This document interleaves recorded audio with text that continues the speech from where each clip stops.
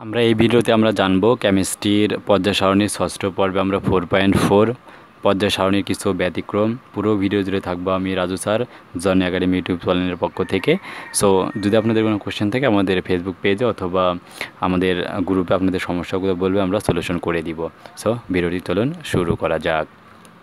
তো প্রথমে আমাদের বলা হচ্ছে, ব্যতিক্রমের বিষয়গুলো হচ্ছে আমরা জানব হাইড্রোজেনের অবস্থান হিলিয়ামের অবস্থান এবং অবস্থান্তর যে মৌলগুলো রয়েছে, তার বিষয়গুলো নিয়ে আমরা এখন জানব। সো ফার্স্ট আমরা হাইড্রোজেনের অবস্থান সম্পর্কে আমরা জানব। তো আমরা যদি হাইড্রোজেনের অবস্থানটা একটু আমরা পর্যায় সারণী থেকে খেয়াল করি, তাহলে দেখতে পাবো। সো আমরা যদি খেয়াল করি যে এক নম্বর পর্যায়ের সব যে মৌলগুলো রয়েছে, তো সেটা হচ্ছে আমাদের যে lithium, sodium, potassium, rubidium, caesium, francium, সবগুলো হচ্ছে ধাতু। কিন্তু এর সাথে আমাদের হাইড্রোজেনটা রয়েছে অধাতু। সো কেন আসলে অবস্থানটা আমাদের দেওয়া রয়েছে? বলা হচ্ছে হাইড্রোজেন একটা অধাতু।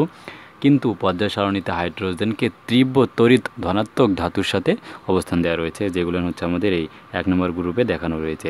এর কারণ হচ্ছে ধাতুর মতো হাইড্রোজেনের বাইরের প্রধান শক্তির স্তরে একটা ইলেকট্রন রয়েছে।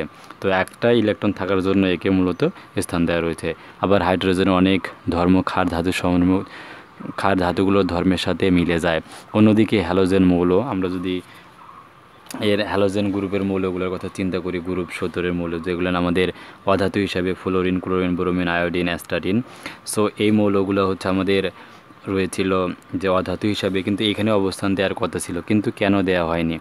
কারণ যে যে যে রয়েছে, এর একটি পরমাণু একটি ইলেকট্রন গ্রহণ করতে পারে। হাইড্রোজেন তেমনি একটা ইলেকট্রনও গ্রহণ করতে পারে। তাই অর্থাৎ হাইড্রোজেনে অনেক ধর্ম হ্যালোজেন গ্রুপের সাথে মিলে যায়।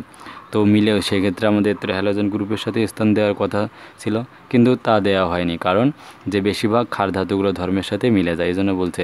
তবে হাইড্রোজেনে বেশিরভাগ ধর্ম ক্ষার ধাতু ধর্মের সাথে মিলে যায়। এজন্য একে ক্ষার ধাতুর সাথে গ্রুপ একে অবস্থান দেওয়া রয়েছে। যদিও আমরা গ্রুপ একের মৌলগুলোকে ক্ষার ধাতু আমরা বলে থাকি, কিন্তু হাইড্রোজেনগুলোকে আমরা সেই ধর্মগুলো না বলে আমরা একটা অধাতু ধাতু অধাতুর মধ্যে আমাদের একটা যে ডিস্টেন্স রয়েছে, তা আমরা এটা হচ্ছে ব্যতিক্রম সেটা। সো এরপর আমরা হিলিয়ামের যদি অবস্থান নিয়ে একটু আমরা চিন্তা করি সো হিলিয়ামের অবস্থান হিলিয়াম এইটি যার আমরা ইলেকট্রন বিনাশ করে ওয়ান এস টু অর্থাৎ দুইটা ইলেকট্রন রয়েছে।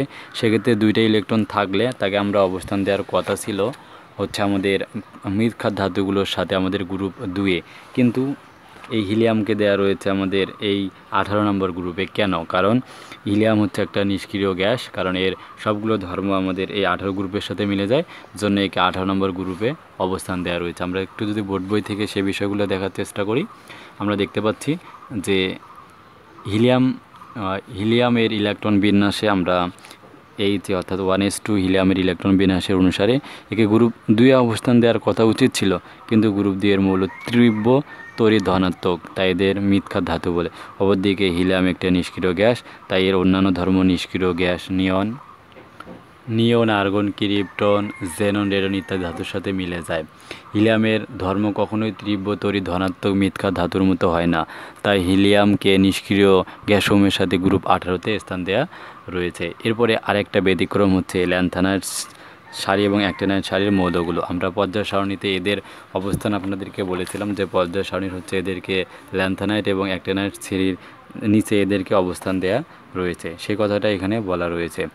সো যে পর্যায় সারণীর ল্যান্থানাইট সারির মৌলগুলোকে গ্রুপ ছয় নম্বর পর্যায়ে এবং গ্রুপ তিনে স্থান দেওয়া রয়েছে। অবস্থিত এবং অ্যাক্টেনাইট সারির গ্রুপ সাতের পর্যায়ে তিন নম্বর গ্রুপে অবস্থিত। আমরা সে বিষয়টা আগের পর্বগুলো থেকে জানতে পারছিলাম।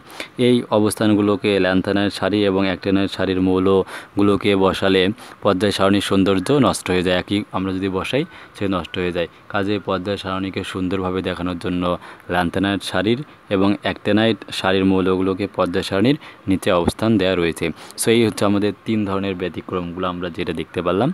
সো আমাদের বিষয়টা এই ভিডিওটার মাধ্যমে আশা করব আপনারা এই যে ব্যতিক্রম অংশটি রয়েছে আপনারা জানতে পারছেন।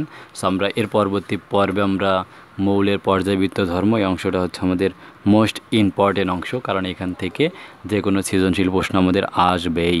সো তাই আমরা এই অংশটাও খুবই গুরুত্বের সহিত আমরা বোঝার চেষ্টা করব পরবর্তী পর্বে। আশা করব আপনারা আমাদের পরবর্তী পর্বে আমাদের সাথেই থাকবেন। সো আমাদের সেই পরবর্তী পর্বগুলো আমাদের জওয়ানি একাডেমি ইউটিউব চ্যানেলের প্লেলি সেকশনে এই ভিডিওটি প্লে সেকশনে পাবেন অথবা আমাদের চ্যানেলের প্লেলি সেকশন থেকে আপনার পছন্দ মতো ভিডিও দেখতে পারেন। So thank you watching my video